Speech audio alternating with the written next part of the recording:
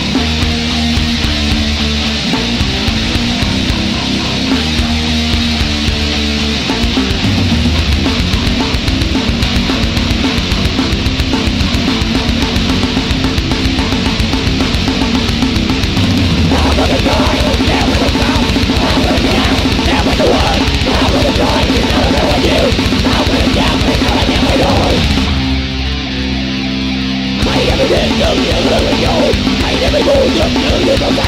đâu phải điên cuồng mặt mày không bay tay về hung cực hay là có ai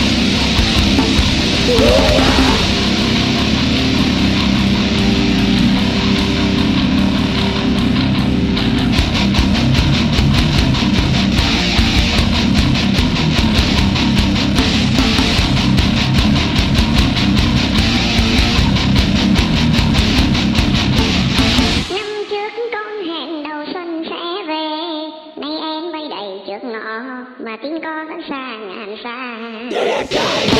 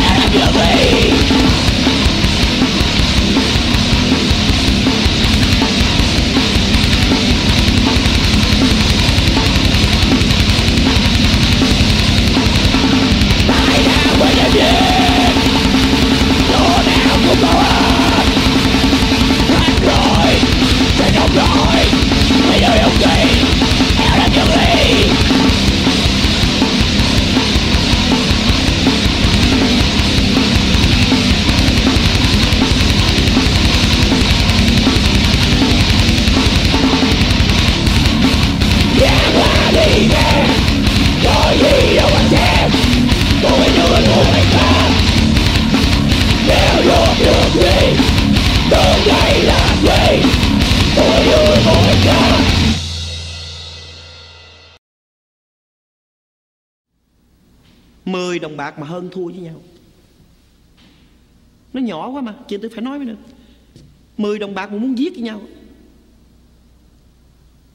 Phải chỉ 20 đồng tôi đâu có nói